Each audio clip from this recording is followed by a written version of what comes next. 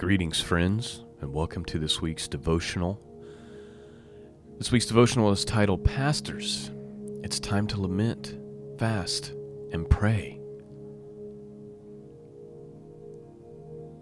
Pastors, ministers, and elders of the church. It's time to lament, fast, and pray. This is what all church leaders should be calling the congregations to do at this point in history. Can you not see that trouble is near? Can you not see that judgment must come? Have you not seen the world burning around you? How can you be so blind? The prophet Joel, chapter 1, verses 13 through 15, says this Gird yourselves and lament, ye priests. How, ye ministers of the altar, come lie all night in sackcloth. Ye ministers of my God, for the meat offering and the drink offering is withholden from the house of your God Sanctify ye a fast, call a solemn assembly, gather the elders and all the inhabitants of the land into the house of the Lord your God, and cry unto the Lord, Alas for the day, for the day of the Lord is at hand, and as a destruction from the Almighty shall it come. In the book of Joel, a warning has come to Israel, a warning that great judgment is coming for they have turned their back on his ways. I believe these same warnings and verses could also be talking about the very end of days, the days which we likely live in right now. God is calling for the priest to lament and to call the people to prayer, fasting, and repentance. God is calling for the trumpets to sound and a warning to go out to all the people. Joel 2, verse 1 says this Blow ye the trumpet in Zion and sound an alarm in my holy mountain, let all the inhabitants of the land tremble, for the day of the Lord cometh, for it is nigh at hand. Unfortunately, we see very little of this happening in the churches today. We see great sin, we see the wickedness and the apostasy, yet no call goes out, no trumpet is sounded, repent, repent.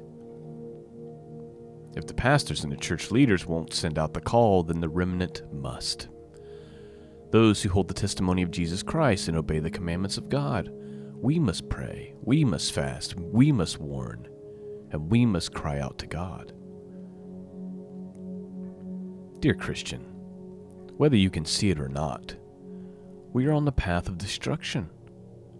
However, there is still a hope to be had. If only we, as God's people, would humble ourselves. If we would fast, pray, and turn from our wicked ways if we would weep and mourn and allow ourselves to be grieved, then God might turn from his judgment and instead leave behind a blessing. As we can see in Joel chapter 2, verse 12 through 14, which says, Therefore also now, saith the Lord, turn ye even to me with all your heart, and with fasting, with weeping, and with mourning, and rend your heart, and not your garments, and turn unto the Lord your God. For he is gracious and merciful, slow to anger, and of great kindness and repenteth him of the evil, who knoweth if he will repent, or if he will return and repent and leave a blessing behind him, even a meat offering and a drink offering unto the Lord your God. That is the devotional for this week, my friends, and I pray that you've been blessed by it in the powerful name of Jesus.